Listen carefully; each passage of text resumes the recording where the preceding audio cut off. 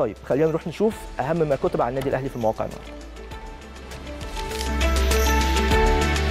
بوابه الأهرام محاضرة فنية بالفيديو للاعبي الأهلي قبل مواجهة فيدا فيتا كلوب. بوابه المصري اليوم مديرية أمن الإسكندرية تعلن خطتها لتامين مباراة الأهلي وفيتا كلوب.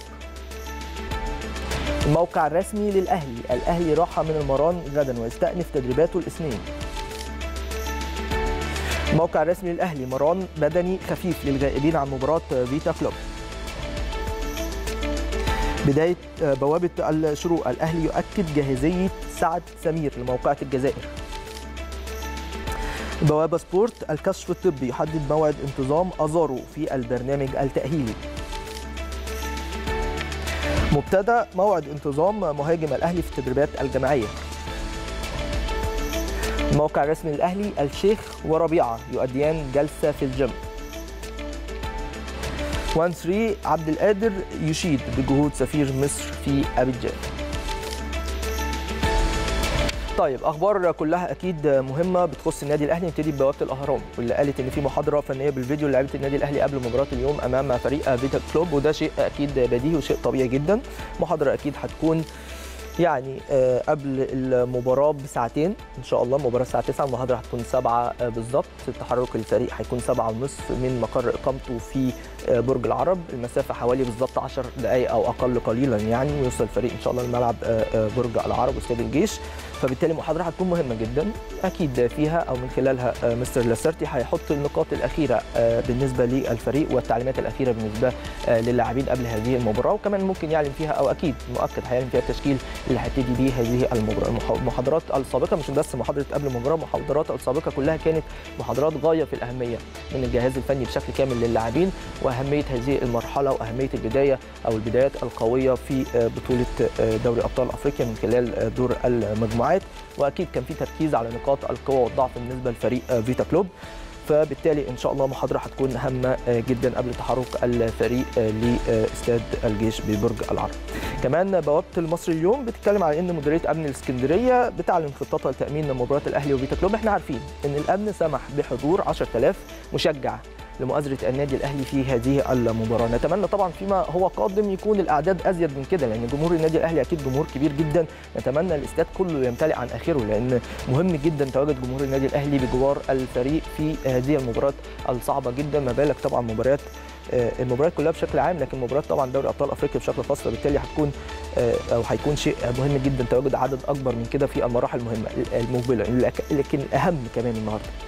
الأهم أو هو نداء لجمهور النادي الأهلي اللي خايف أكيد على مصلحة فريق إنك تشجع الفريق بس مش عايزين أي شتايم أي ألفاظ خارجة لأي حد من الشخصيات بشكل عام.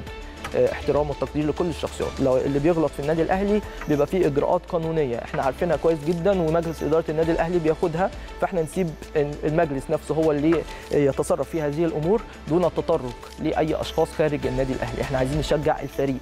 ونأزره بالشكل المطلوب عشان يقدر إن شاء الله أو نقدر نحقق النتيجة المطلوبة من خلال الفوز في مباراه النهارده مش بس مباراة النهارده أي مباراة هيكون متواجد فيها جمهور النادي الأهلي. لو ركزنا على الفريق بس وده اللي كنا متعودين عليه دايما من قبل جمهور النادي الأهلي ده اللي هيقود الفريق إن شاء الله للانتصار حتى لو المباريات صعبة حتى لو الظروف ما عند النادي الأهلي. لكن دايما جمهور النادي الأهلي هو الجمهور رقم واحد.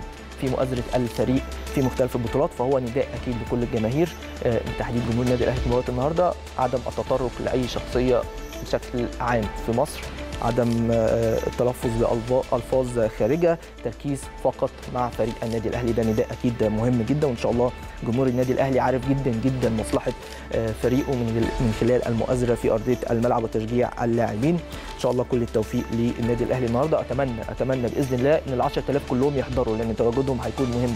لو ينفع يزيدوا كمان عن كده يا ريت لكن هو الأمن للأسف سمح ب 10 إن شاء الله النهارده تكون بداية لزيادة عدد الجماهير وخصوصا قبل الإقبال على بطولة الأمم الأفريقية في مصر إن شاء الله في شهر 6 المقبل.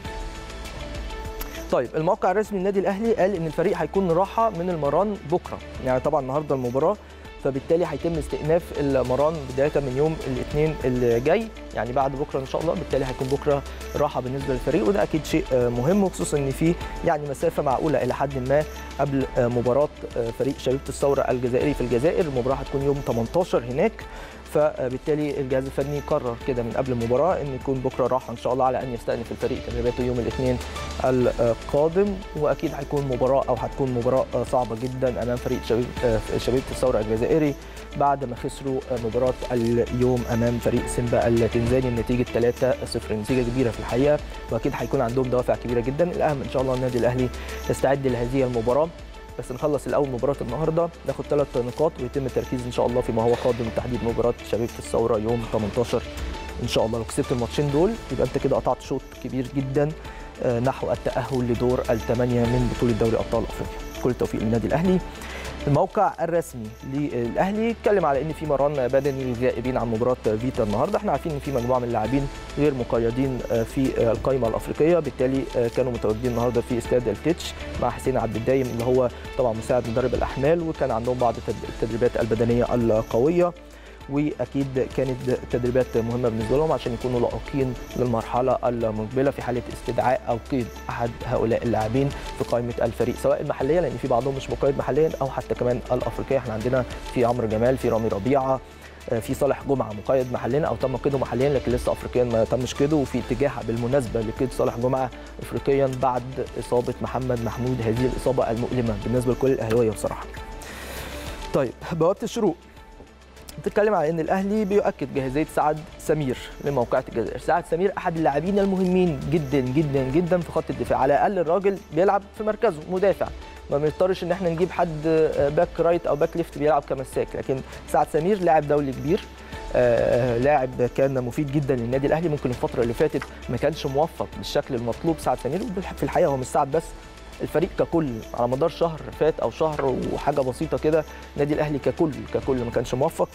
لكن يبقى سعد سمير أحد العناصر الهامة جدا في تشكيلة النادي الأهلي. عودته هتكون مهمة وخلاص زي ما اعلن النادي الأهلي النهارده إن سعد سمير هيكون جاهز لموقعة الجزائر. جاهز طبيا وده اللي أكده دكتور خالد محمود طبيب الفريق. لكن بدنيا هو الراجل شارك أعتقد في آخر تدريبين للنادي الأهلي في المران الجماعي لكن هل هيكون لائق بنسبة 100% بدنيا لخوض هذه المباراة الصعبة أمام فريق فريق شبيبة الثورة الجزائري؟ اعتقادي الشخصي اعتقاد شخصي وليس معلومة إن هو هيرافق البعثة هناك في الجزائر لكن ما أعتقدش إن هو هيشارك في المباراة كأساسي ممكن يكون بديل يعني تحسبا لعدم تكرار الإصابة أو يعني إعطاء اللاعب راحة أكبر. وفرصة أكبر لأن هو يكون مهيئ بشكل أفضل للمباريات الهامة اللي هتلي طبعا مباراة فريق شبيبه الثورة الجزائري. البوابة سبورت كمان بتتكلم على الكشف الطبي اللي هيحدد طبعا موعد انتظام أزارو. في البرنامج التأهيلي أزارو أحد اللاعبين المهمين جدا جدا بالنسبة للنادي الأهلي وهداف الدوري السنة اللي فاتت وهداف النادي الأهلي في بطولات أفريقيا. بالتالي عودته هتكون مهمة جدا وليد أزارو قدامه أو الإصابة كان محدد ليها ست أسابيع أعتقد عدى أسبوع أو 10 أيام. فبالتالي قدامه نقول خمس أسابيع. خلينا نقول خمس أسابيع عشان يرجع ازارو للتدريبات الجماعيه بالنسبة للنادي الأهلي. لكن هو في الفترة دي بيعمل بعض التدريبات العلاجية. طبعا إحنا عارفين إن هو عنده زي مزق كده في العضلة الضمة ودي عضلة رخمة وصعبة شوية يعني في الكورة. كل الناس بتلعب كورة عارفة الإصابة دي بتبقى صعبة شوية على لعيب الكورة بتأخره شوية. لكن إن شاء الله ازارو من خلال الكشف الطبي هيتم تحديد موعد انتظامه في البرنامج التأهيلي ومن ثم الانتظام في المران الجماعي بالنسبة لفريق النادي الأهلي. طيب يعني برضو من ضمن الأخبار وللأسف أخبارنا كلها الفترة دي عن المصابين في النادي الأهلي. إن شاء الله مرحلة ونخلص منها بقى يعني مرحلة وتعدي بإذن الله ويكون كل اللاعبين لائقين ومتاحين. بالنسبة لمستر مارتين لاسارتي علشان يقدر تكون أو تقدر تكون قدامه الاختيارات كلها مفتوحة ويقدر يختار التشكيل بشكل في أريحية بشكل كبير جدا عشان يساهم في انتصارات الفريق إن شاء الله بالشكل المطلوب. موقع رسمي النادي الأهلي قال إن الشيخ وربيعة يؤديان جلسه في الجيم، إحنا عارفين أحمد الشيخ عنده إصابة. في الكاحل بالتالي بعدته شوية عن مباراة سموحة ما شاركش فيها وكان شارك في مباراة بيراميدز. وكمان رامي ربيع عنده كسر في إيده لكن الاصابه القديمة بالنسبة لرامي ربيع يا جماعة خلاص تم التخلص منها نهائي وتم التعافي منها بالنسبة لرامي بشكل نهائي خالص. والراجل ما بيشتكيش من أي حاجة لا في الام في الحوض ولا في العضلات الضمة بالنسبة له. الراجل الإصابات القديمة بالنسبة له ما فيش أي حاجة.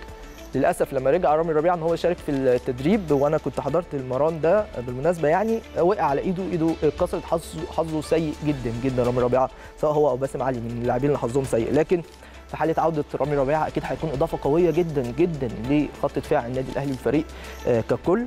فإن شاء الله رامي ربيعة يكون جاهز هو أحمد الشيخ خلال المرحلة المقبلة عشان إن شاء الله يقدروا يقودوا الفريق لمراحل هامة جدا مقبلة ويكونوا يعني داعم كبير لصفوف فريق النادي الأهلي. كل التوفيق إن شاء الله.